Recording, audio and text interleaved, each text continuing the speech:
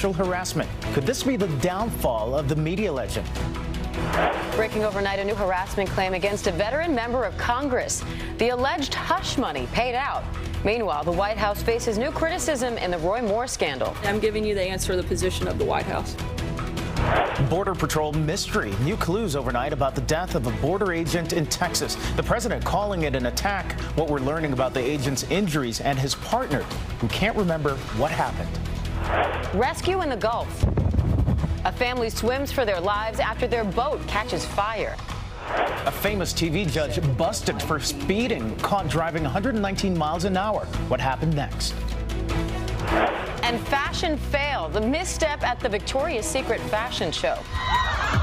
Plus the $2 million fantasy bra revealed.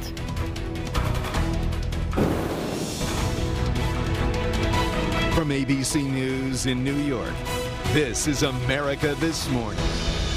A good Tuesday morning to you all. We begin with veteran TV host Charlie Rose facing sexual harassment allegations from at least eight women this morning. Yeah, and CBS quickly suspending Rose, and PBS has stopped production of his show, his interview show, after his accusers opened up to the Washington Post, sharing at times some disturbing details of groping, nudity, and even lewd phone calls.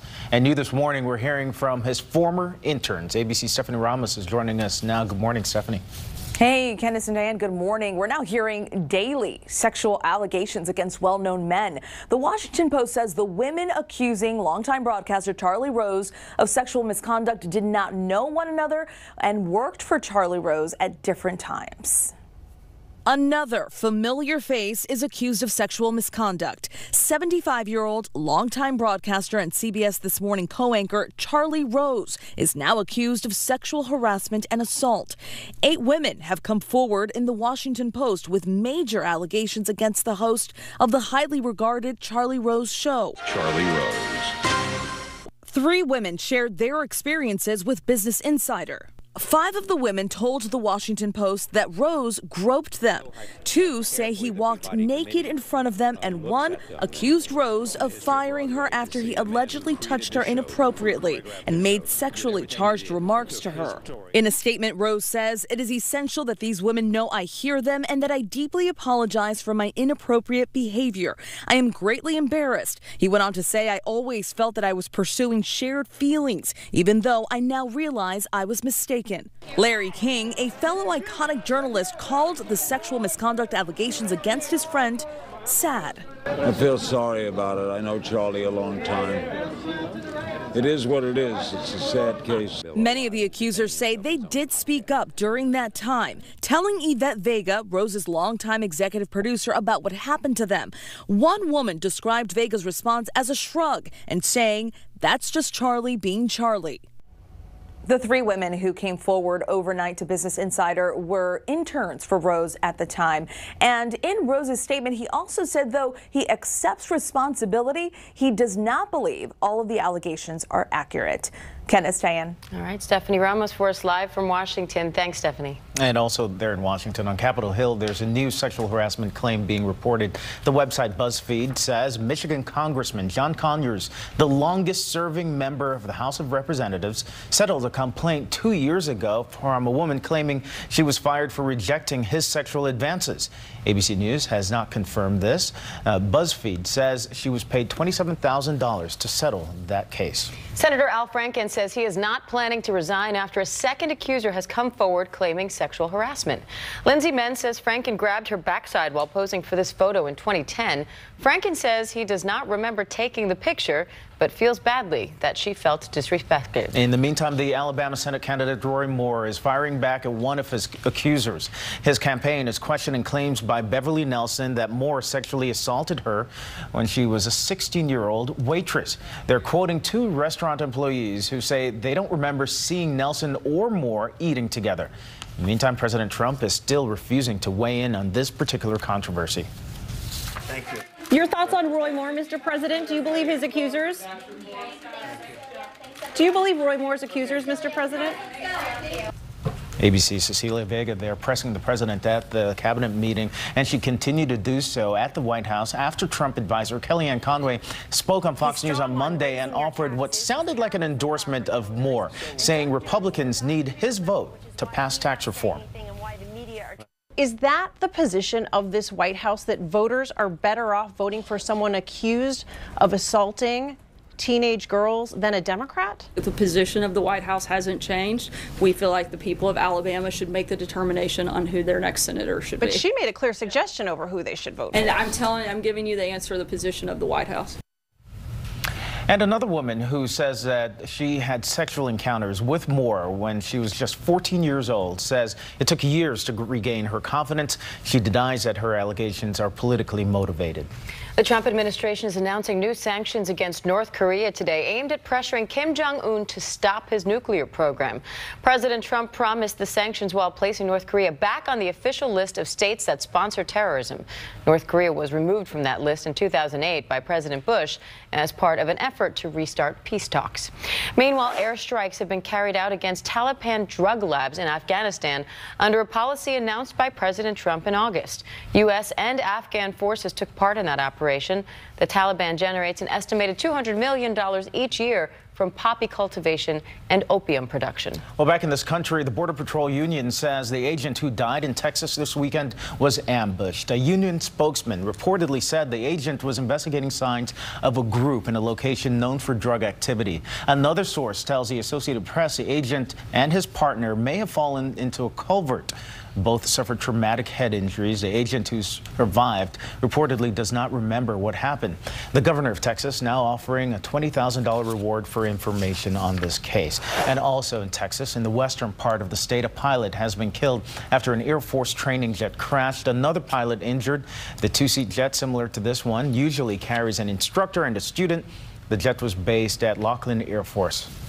Argentina's Navy says sounds heard in the South Atlantic were natural and did not come from its missing submarine. The sub was last heard from five days ago when the crew reported a battery failure. They were then trying to return to base when the sub disappeared. 44 sailors are on board that missing sub. A U.S. Navy jet is helping with the search, which is being hampered by bad weather and rough seas. And time now for a look at your weather this Tuesday morning.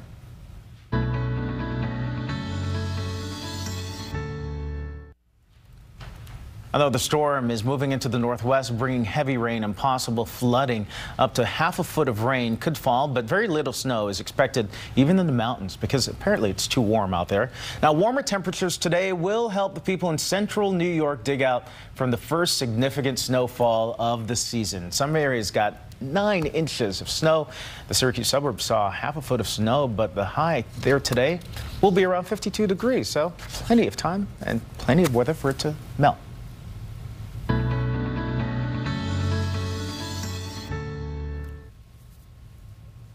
Coming up, why one of the most important holiday decorations will be costing you a lot more this year. Uh, but first, a company is ordered to pay millions of dollars after a family on vacation is poisoned with pesticides. And a possible breakthrough in diagnosing concussions.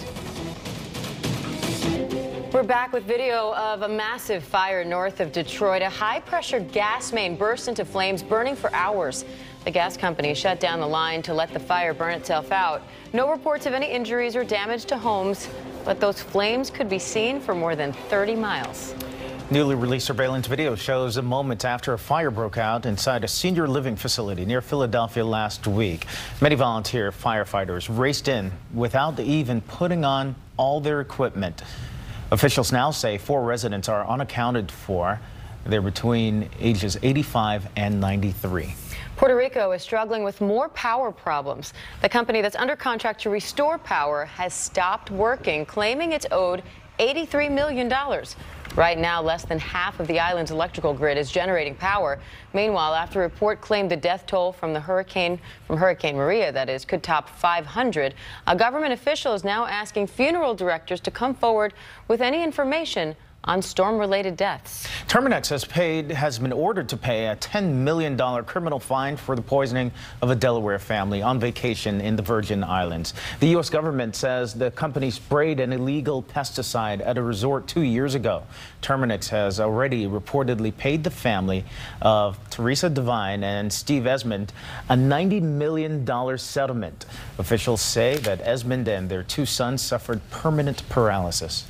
The Trump administration is going to court to block the merger of AT&T and Time Warner, the parent company of CNN. The lawsuit filed by the Justice Department claims the combined companies would reduce competition and increase prices. AT&T calls the suit radical and is vowing to fight it in court. All right, so before you buy your Christmas tree this year, you may want to stuff some extra green in your wallet. Christmas tree prices are up nearly 10% this year. You can blame last decade's recession. Um, growers say 10 years ago they planted fewer trees because of sluggish sales, and that's causing this year's shortage. Sure. Hmm. Um, but price was no object for a time honored White House tradition. First Lady Melania Trump with her son there welcoming the arrival of the White House Christmas tree from Wisconsin, all 19 feet of it. Mine arrived too, straight out of storage. Just oh, plug it right in the wall. It's no, already lit. You just boom, it real. just pops right out. It's great. No. No shortage there. All right, when we come back, the new discovery about life on Mars. And also ahead, caught on camera, the rescue at sea after a family's boat catches fire. And why a mother is now going to jail after her son died. That is a theme from Touched by an Angel, and this morning we are remembering actress Della Reese there. Long before her hit show, she toured as a gospel singer, appeared with Ed Sullivan 18 times, oh, wow. and then became the first black woman to host her own variety series and fill in for Johnny Carson. Wow. Quite a career. Her yeah. co-star Roma Downey said, heaven has a brand new angel. Della Reese was 86. Uh, she will be remembered there. Uh, we turn now to the new lawsuits filed in connection with the Las Vegas shooting rampage. Five suits filed on behalf of hundreds of victims claim the hotel and concert promoter failed to secure the concert on the Strip last month and failed to take precautions to prevent the shooting. They had no plan. They violated their own policies. They violated industry standard policies and they ignored what their own experts told them to do. So the lawsuits were filed in Los Angeles, where attorneys say a casino promoter like MGM will have less influence than it would in Nevada. Many of the victims also came from California. A young mother has been sentenced to three years in prison after her son died when she failed to take him to the doctor for strep throat. Tamara Lovett said she thought her seven-year-old had a cold and gave him holistic remedies. The Canadian judge called it a senseless death saying the boy could have been easily treated with antibiotics. The mom says she hopes others will learn from her ignorance. Well, doctors may soon have a powerful new tool to help diagnose concussions. Researchers at Penn State say a test that measures genetic material in saliva was nearly 90% accurate in predicting how long symptoms would last. That's compared to the current methods that are only about 70% accurate. Most concussions are among children and teenagers, often playing sports. New research indicates the theory of water on Mars may be drying up. Scientists with the U.S. Geological Survey studied some lines on Martian slopes. They say the lines are likely to be steep flows of sand, not water, as NASA claimed two years ago. Researchers say if there is water on Mars, it's likely a small amount and probably would not be able to support life. We'll have to come up with new moving Yes. Yeah. A dramatic scene from the Gulf of Mexico now. A family of three in the water clinging to some buoys after jumping from their burning boat there. Luckily, a ferry on its way to Key West was passing by and the crew helped pull the family to safety. Witnesses say it looked like the family's boat engine was on fire. You can see the scenes there. And they were not hurt. And Florida is known for its gators, but take a look at a six-foot crocodile that swam onto the beach in Hollywood. It crawled along the shore for miles before eventually being captured by wildlife officers there. It will now be returned to its habitat. Great. Now we have to worry about gators in addition to, exactly. or crocs rather, in addition to sharks. Just mm -hmm. what we mm-hmm. need. All right, time now for sports, starting off with Monday Night Football. It all came down to the final play, actually. Here's a look at the highlights from ESPN. Up next in the Pulse, a famous judge ticketed for going 119 miles an hour. Also ahead, a fashion model falls on the runway, but it's how she handled it all that's impressing everyone. Plus, the implosion that only took seconds to complete and the perfect photobomb that ruined one man's shot. Time to check the pulse, and a famous TV judge is in a bit of trouble with the law. Yeah, Fox News host Jeanine Pirro, who used to host a TV court show, was caught speeding in upstate New York. Police say she was driving 119 miles an hour. Uh, Pirro says that she was racing to see her sick mother and will, quote, pay the consequences. Uh, those consequences could be more than $600 in fines and the loss of her license.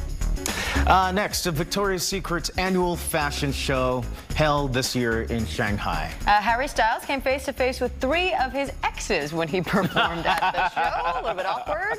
Uh, Katy Perry was also supposed to perform.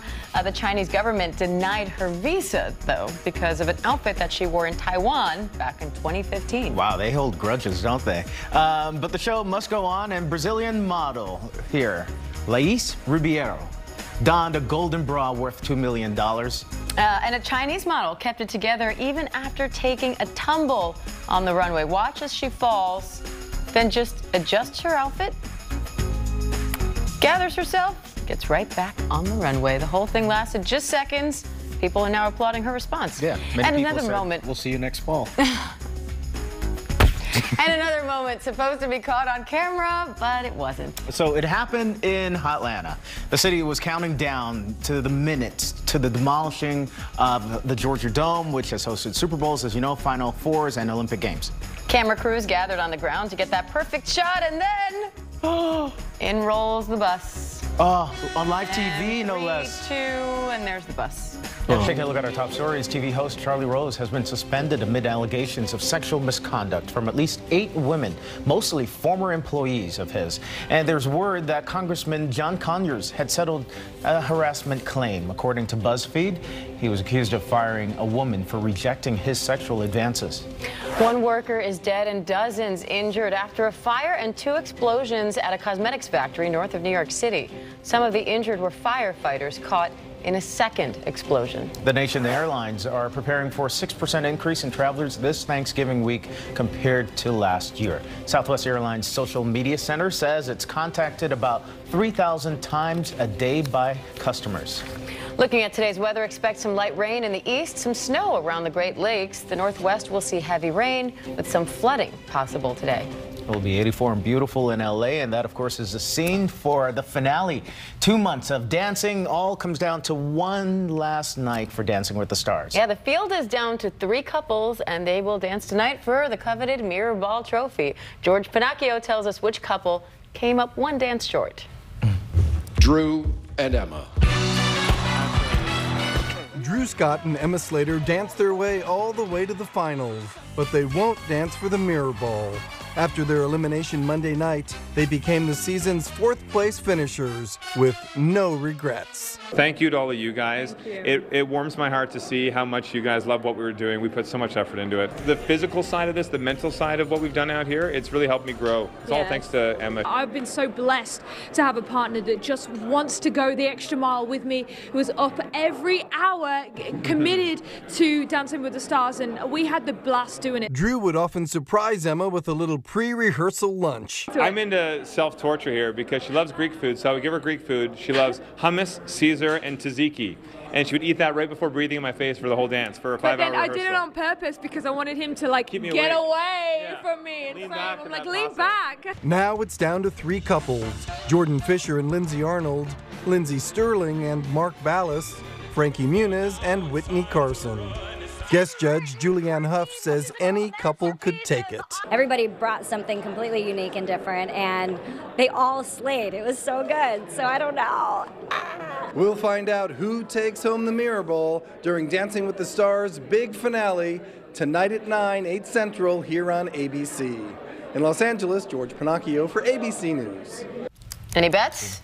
I'm going with Jordan. Ooh. Um, well, you said already, he's a ringer. He's a ringer. He used to be in Hamilton. He knows to sing and dance. And I'm going that. with Lindsey. She played the violin and she danced last night. I'm excited to see what she's going to do tonight. All right. I will win. That's what's making news in America this morning. Enjoy your Tuesday. Proud to serve northeastern and central Pennsylvania. This is News Watch 16 this morning.